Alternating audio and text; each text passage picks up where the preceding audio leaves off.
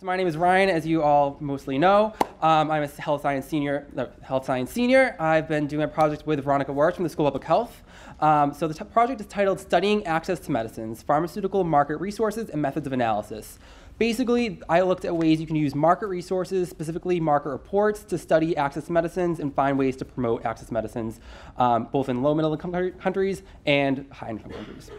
So just some background. Access to medicines is a global challenge, both in the United States, where, where unaffordability is a huge problem, and in many low and middle income countries, where accessibility, there's a lot of places where medicines are just not available.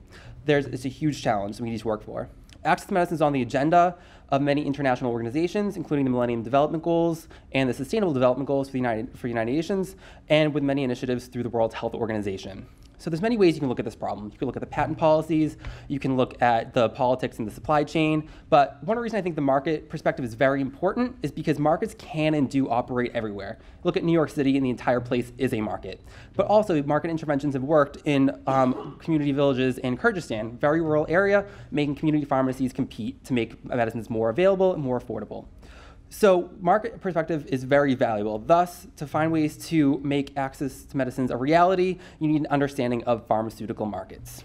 So what did I do? The first objective was to identify commonly used and underutilized resources to study access to medicines so this was looking at market reports, um, looking at um, resources provided by many international organizations. It wasn't a systematic review, but it looked at many articles and many um, other studies in the past, many organizations, what the resources were available that you could use to study it.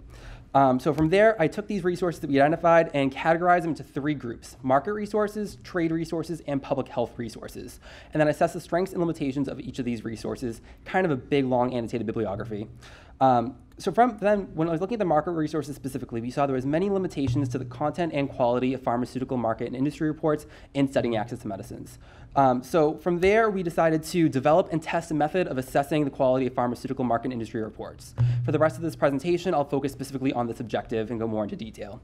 And then finally, after completing these, we compiled a manual for public health professionals that were interested in access to medicines, either in developing policies and understanding their local um, problems or on a more global, um, bigger scale for research, um, help them guide on the resources they could use as well as how to assess the quality.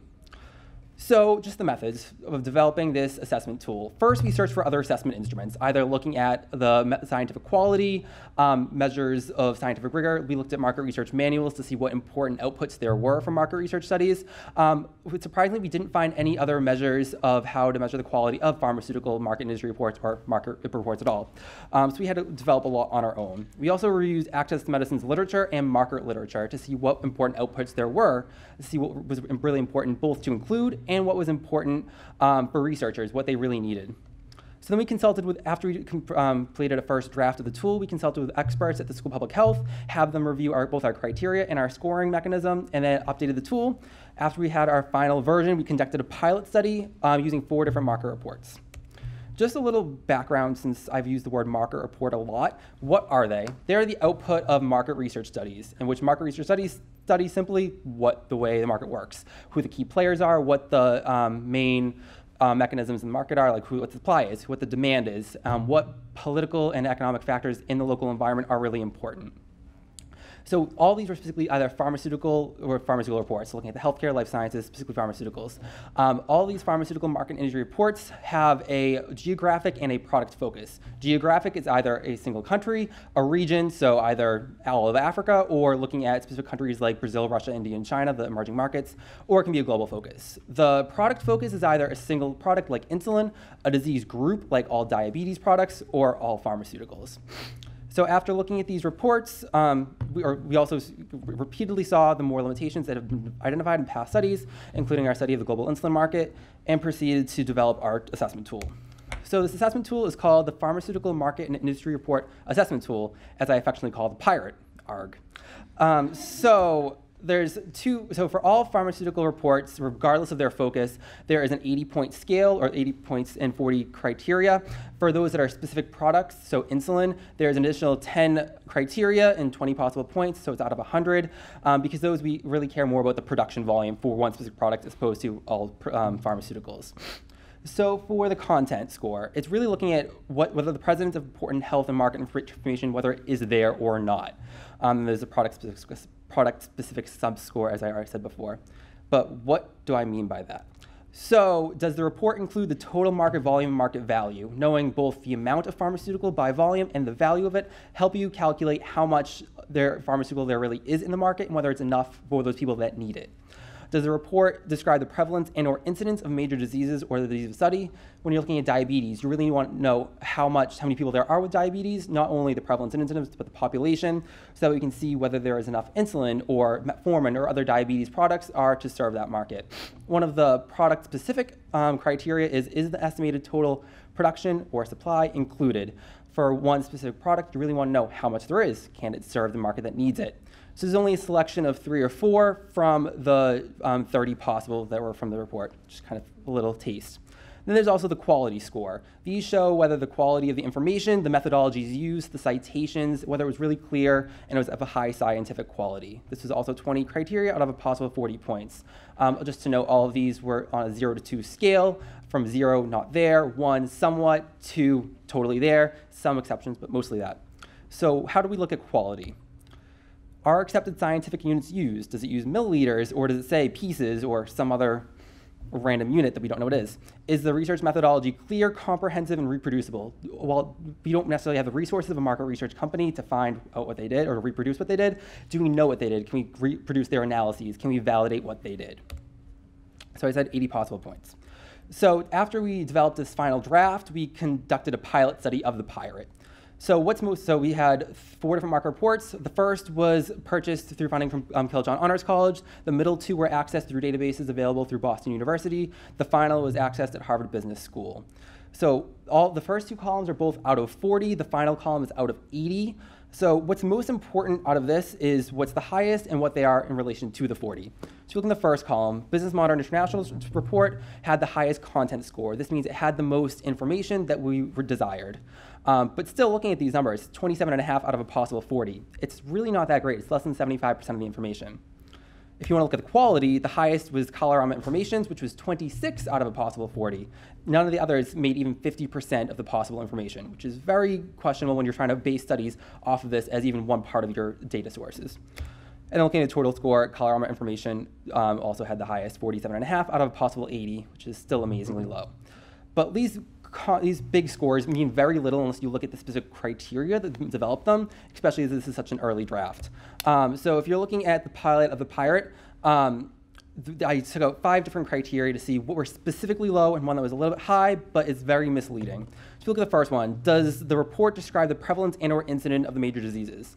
Two of them had very little epidemiological information at all. When you want to know the demand of the in the population, whether there's a huge diabetes population that needs insulin, you really need to know that, or it's just pretty much made up number of what consumers need. Um, and then two reports had some information there as well. Um, so there's needs a lot more epidemiological and health information specifically for reports on pharmaceutical markets. If you continue to the total market volume, while market values were there a little bit more, the money, since the type price of the product can vary between low income countries and high income countries, and just depending on location and provider, CVS has different prices than directly from the pharmaceutical company.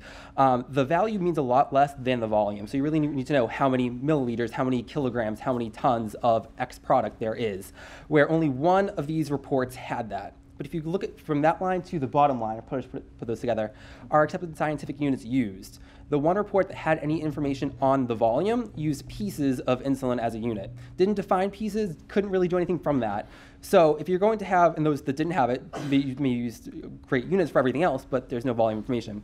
So from these reports, we really couldn't make any estimation of clinical need or really figure out whether there was enough for the population of need.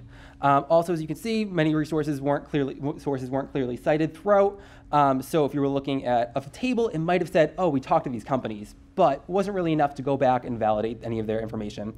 And the research methodologies were very, very vague. Some of them would say general steps of who they might have contacted, but you really couldn't validate any of these, a lot of the information. So these can be used as a great complementary resource, but not necessarily on their own for a study. You really need some validation, some additional market information, and ideally talk to these companies. So some conclusions from this project. First, as I mentioned earlier, there's a broad range of resources that you can use to study access to medicines from a pharmaceutical perspective or from any perspective. Um, all these resources identified are valuable, have strengths and limitations, but they can be used. pharmaceutical market industry reports specifically, they could be used as a complementary resource, and they do have limitations, but we are starting to figure out where our gaps are in information and what we can do to address this. Hopefully, the, with the use of Pirates, we've seen it's a feasible method. We can update it in the future, include more other um, important resources. So we didn't talk about public and private sector um, prices and, I can't speak today. So um, differentiating private and public sector information, which is particularly important in low and middle income countries where a lot of the data is provided, a lot of the medicines are provided by low, um, the government. So that could be something to update this, but as we can see from these this past, it's a feasible method to address the quality and see whether these reports really have what you need. And finally, we've seen that studying access medicines from a pharmaceutical market perspective has the potential to identify market interventions and health policies to promote access to affordable medicines. Using these methods, you can really find out more about what the market is, identify what the problems are, identify what barriers there are to make medicines more accessible, and hopefully develop policies to make access medicines a reality. Thank you.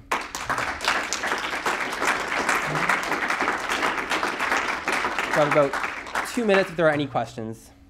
Yes.